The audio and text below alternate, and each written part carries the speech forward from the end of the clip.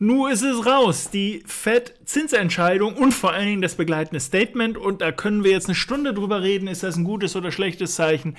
Der Markt entscheidet das und er hat entschieden. Und wir gucken uns das Ganze mal eine Stufe genauer an. Starten wir mal mit dem SP 500. Und ähm, wir sehen, dass wir vor dem Ereignis ja in etwa diese typische Korrekturmöglichkeit hatten, eben diesen Trendkanal.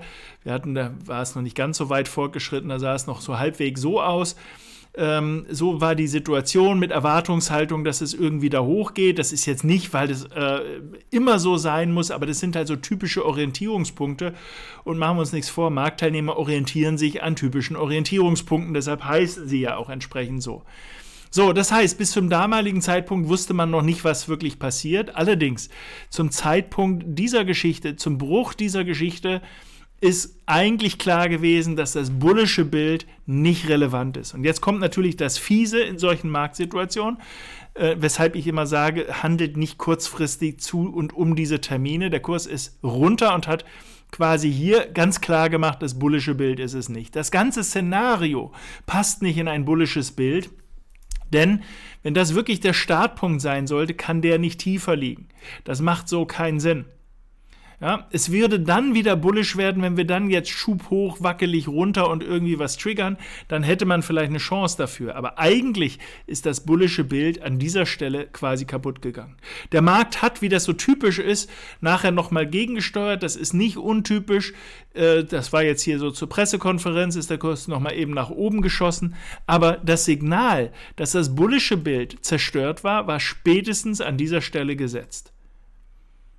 So, wie gesagt, wenn der Kurs jetzt nach diesem Anstieg, den wir jetzt hier hatten, hier jetzt wackelig runter, dann hätte ich gesagt, ah, okay, sie hätten sich noch mal eines Besseren belehrt, aber ist nicht wackelig. Und dann hätte man eben hier auf dieser Oberseite des Trendkanals, beziehungsweise die Zwischenhochs, hätte man sich seine Longs gesucht. Er ist aber nicht wackelig runter, er ist steil runter, was dieser Idee, dass das bullische Bild zerstört ist mit Bruch dieser Marke hier eben, ähm, das tatsächlich äh, äh, unterstreicht. Daran seht ihr, es geht gar nicht, ich lese das häufig, dass viele sagen dann, ja, Kaffeesatzleserei. Ich finde, Kaffeesatzleserei ist super. Wenn ich nämlich einen Kaffeesatz habe, weiß ich, dass ich zu viel Mehl benutzt habe oder mein Filter nicht in Ordnung ist. Das heißt, ich weiß, ich habe schon eine Idee, was ich nächstes Mal besser machen muss, denn normalerweise trinke ich den Kaffee gerne ohne den Satz unten drin.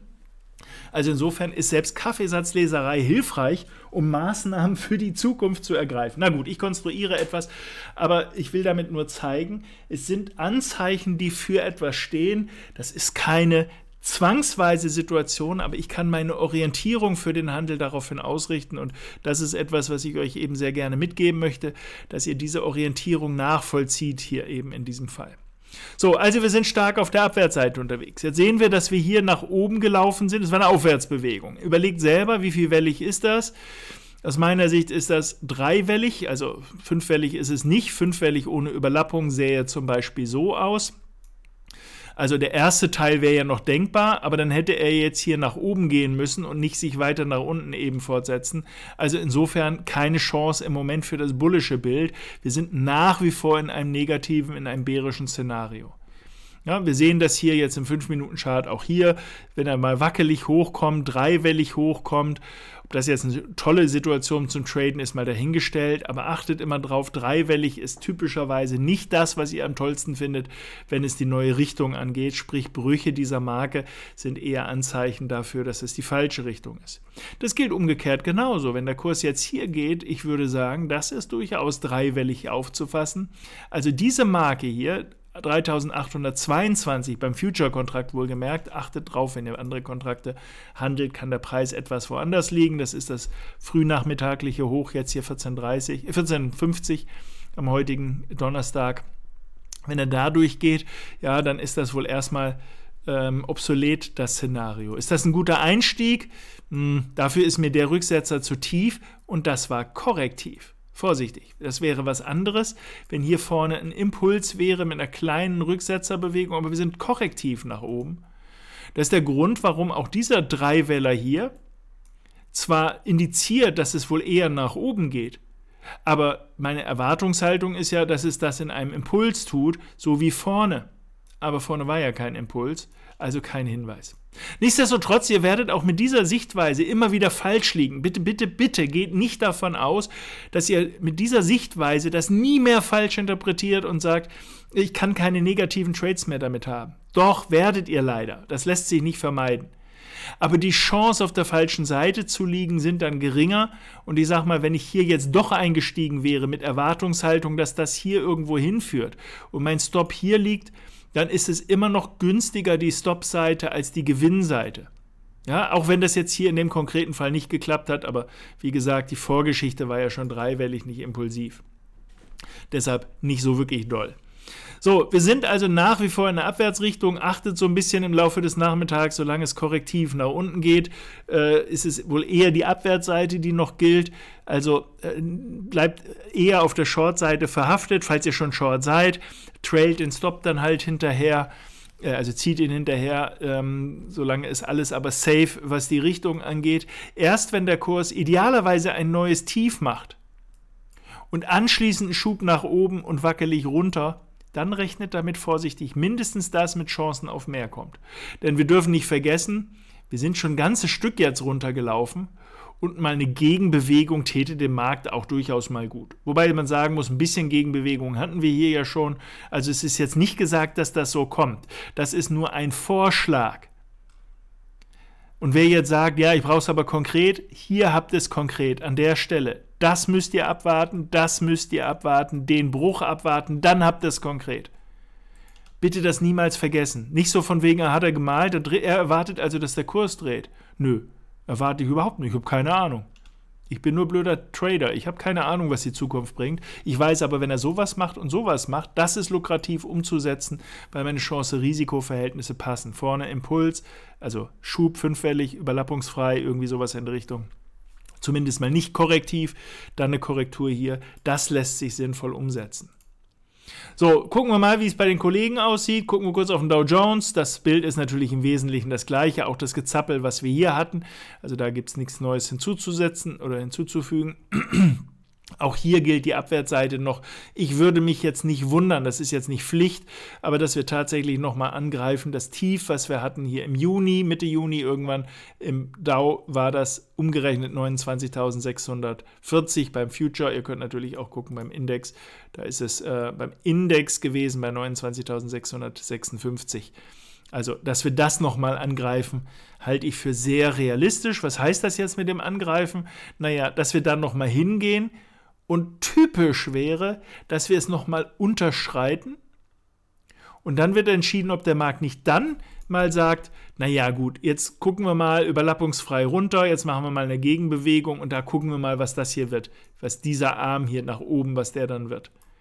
Also meine Prophezeiung an alle da draußen, die sich sowas wünschen, ist, ich sage euch, der Kurs wird nochmal dieses Tief nach unten durchstoßen wie tief weiß ich nicht, aber zumindest mal so, dass es den einen oder anderen triggert, irgendwas zu tun, vielleicht äh, Short-Positionen aufzumachen, vielleicht Long-Positionen jetzt zu schließen. Und mich würde es absolut nicht wundern, wenn der Kurs dann irgendwo da unten drunter dann sagt, na, na, na, na, na, wir drehen wieder um. Damit solltet ihr auf jeden Fall rechnen. Das ist nicht untypisch. Das muss nicht sein, das muss auch nicht jetzt so winzig sein, aber es ist sehr klassisch, dass der Kurs eben unter- oder überschreitet und anschließend dann den Drehrichtung macht. Insbesondere nachdem wir schon so lange gefallen sind, wäre das gar nicht untypisch und würde nahezu danach rufen, dass wir diese Bewegung nochmal wieder in, in die mittlere Zone, wie das ist jetzt für heute zu früh, die können wir dann spezifizieren, wenn sich das tiefer ein bisschen herausstellt, aber dass der Kurs dann hier rauskommt. Das ist kein Versprechen, dass er macht, das macht. Also für all diejenigen, die jetzt sagen, ah, ich war hier oben long, jetzt bin ich im Minus, aber er sagt ja auch, der kommt nochmal hoch, dann bleibe ich einfach drin. Äh, nee, nee, so funktioniert das nicht. Das ist ja nicht gesagt, dass der nicht durchfällt. Ja, das hat woanders auch gut funktioniert, dass er einfach durchfällt durch solche Tiefmarken. Aber es wäre zumindest mal sehr typisch, dass der Kurs mal eine Pause macht, nachdem er ja schon relativ stark und weit hier gefallen ist. Typisch finde ich super, um einen neuen Trade abzuwarten. Typisch finde ich nicht ausreichend, wenn es darum geht, nö, absichern muss ich mich nicht. Typischerweise schaffe ich es heil über die Autobahn zur Oma, aber Anschnallgurt, Airbag sagt man ja nicht, nö, typischerweise geht das gut, brauche ich heute nicht. Ja, also, dass ihr das versteht. Ja, typischerweise kann ich frohen Mutes einsteigen und äh, gucken, dass es so passiert. Aber äh, Stops, Absicherungen ähm, hat damit erstmal nichts zu tun. Ist nicht das Thema dieses Videos, wäre ein extra Beitrag, aber nochmal so zur Erinnerung, dass ihr nicht äh, ähm, euch dazu sicher fühlt, oh, so hat es gezeichnet, so würde es mir auch gefallen. Dann passiert es doch bestimmt so, hat er doch auch sich gewünscht. So, also, das äh, ist der Nasdaq jetzt. Äh, das grundsätzliche Prinzip ist das gleiche. Insofern gilt dort ebenfalls wohl vorläufig eher die Abwärtsseite. Zumindest sehe ich noch nicht die Aufwärtsseite. Sobald der Kurs mal intraday sowas macht, sowas macht, würde ich natürlich sehr gerne wechseln. Achtet darauf, insbesondere für die Feierabendhändler unter euch, die sagen, oh komm, nachmittags, abends kann ich da noch mal was machen im Intraday-Chart, 5-Minuten-Chart dann wäre das durchaus in Ordnung. Solange er aber wackelig hochgeht, wo auch immer dann die nächste Gegenbewegung ist, ist das ein Zeichen, nee, nee, geht wohl noch eher nach unten. Das gleiche Prinzip gilt auch für den DAX, aber der hat was Schickes gebaut aktuell. Und das ist eigentlich der schöne Abschluss hier der Geschichte. Hier hat man zumindest mal den Eindruck, das könnte auch locker ein Fünfweller sein. Und dieser Rücksetzer ist von den Größenordnungen durchaus passend, hier an der Stelle ein Long-Signal zu geben. Also aus der Sicht, auch wenn das hier ziemlich langsam nach oben gegangen ist, wir dürfen nicht vergessen, das ist Nachthandel gewesen. 3 Uhr nachts sind die meisten nicht unbedingt im DAX unterwegs. Morgens um 8 waren wir dann hier. Der Anstieg zählt, aber wenn ich diese Zeitverzögerung durch Nachthandel rausnehme und nur einfach die Menge, äh, also den Anstieg nehme, dann sieht dieses Verhaltensmuster so aus und damit ist das ein wunderbarer Fünfweller überlappungsfrei. Ja, also ich finde das nicht schlimm, dass er das macht. Insgesamt die Aufwärtsbewegung also durchaus fünfwellig. Das letzte Zwischenhoch ist dieses hier. Wir sind auch hier so ähnlich wie wir das gestern allerdings in der anderen Richtung beschrieben haben, abwärts unterwegs. Der Rücksetzer, den wir haben, ist in diesem Fall tief genug runtergegangen. Warum ist tief genug runtergegangen? Ich mag ja gerne, wenn der Rücksetzer irgendwo in diese Box reinläuft. Also Symmetrie passt, der Rücksetzer, äh, das Niveau passt hier an der Stelle. Ich kann mir sehr gut vorstellen, dass der DAX jetzt hier eine realistische Chance hat, irgendwo in diesem Umfeld hier in den Dreh reinzukommen. Ihr seht, wir haben hier mehrere Unterstützungen irgendwo in dem aktuellen Bereich, wo wir jetzt sind, 12.600 circa bis äh, von mir aus auch 12.560. Wer so lange warten will, könnte auf den Bruch dieser Hochmarke warten. Das ist das äh, Nachmittagshoch, was wir heute hatten, ungefähr bei 12.740. Ein bisschen höher war es jetzt hier. Oder aber ihr guckt auf der kleineren Zeitebene, ob wir hier im Kleinen so etwas bekommen. Dann könnt ihr natürlich versuchen, hier vorne schon reinzukommen, mit der hoffnungsvollen Erwartung, dass der Kurs irgendwie sowas im Anschluss hier nochmal baut. Also, das ist keine Ankündigung, dass das passiert. Er hat noch nicht angefangen zu drehen aber es ist zumindest mal ein Hinguckermarkt für mich aktuell in den nächsten paar Punkten. Aber wenn er hier durchgeht, spätestens wenn er durch die 12.537 geht, hier bei der 78er Marke, dann ist meine Long-Idee rum.